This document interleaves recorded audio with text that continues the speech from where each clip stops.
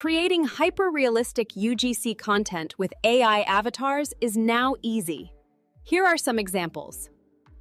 You're not looking at a real person, but I can smile, blink, talk, even express emotion, all thanks to a few powerful AI tools. Create a digital version of yourself that looks and talks like this? Let me show you how Thide. Don't forget to like and subscribe. To create a hyper-realistic talking AI avatar, you'll first need a high-quality image. This image is the foundation, and the better it looks, the more realistic your avatar will be. You can use some free image generation tools like Leonardo which is great for photorealistic portraits.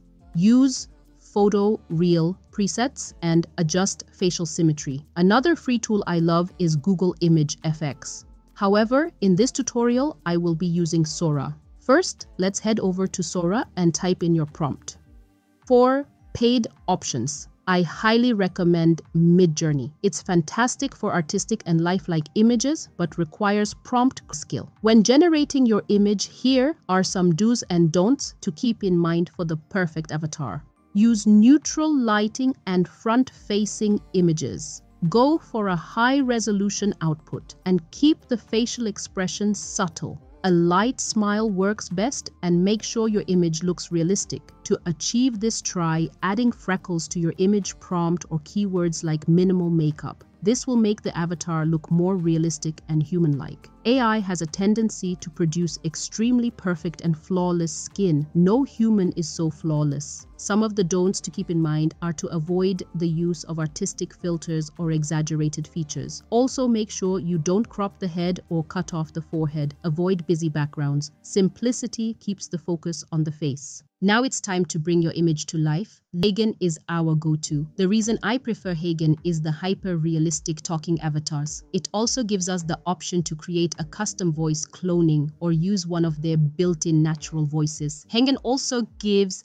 the most natural gestures, blinking, lip sync, all in a few clicks. When in Heygen, you can create your avatar in various ways. One of them is the photo to video. Simply upload your photo. Right here, you get the option to either upload an already recorded audio or paste a script. You also get the option to choose a custom motion of how you want your avatar to move, then generate your video. You're not looking at a real person, but I can smile, blink, talk, even express emotion, all thanks to a few powerful AI tools. Second method is to create an avatar. Head over to create your avatar. With this option, you will upload a video of yourself to get a clone version. The duration of your video should be at least 30 seconds to 10 minutes long. Click to upload your video. You will have to agree the, the terms listed here before proceeding. Once your video is done, you get this message. Your avatar look is being created and will be ready in just a few minutes. We will notify you by email when it is ready. Click done and you're directed to this page to name your avatar.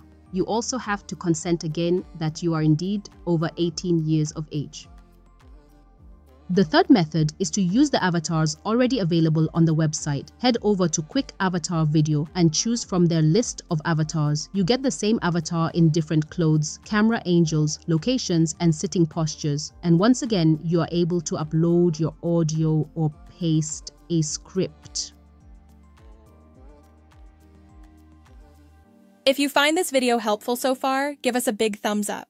Other avatar generation tools to check out are Synthesia. I would say this is ideal for business style avatars, clean and professional. Another one I really like is D-ID. It's great for expressive avatars from simple selfies. I love the fact that you can use cartoon or non-human images. Heygen rejects non-human images. Another honorable mention is Higgsfield. It's more experimental but very dynamic facial motion.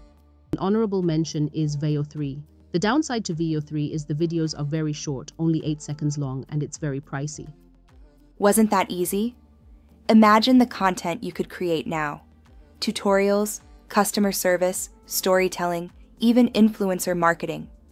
All without stepping in front of a camera.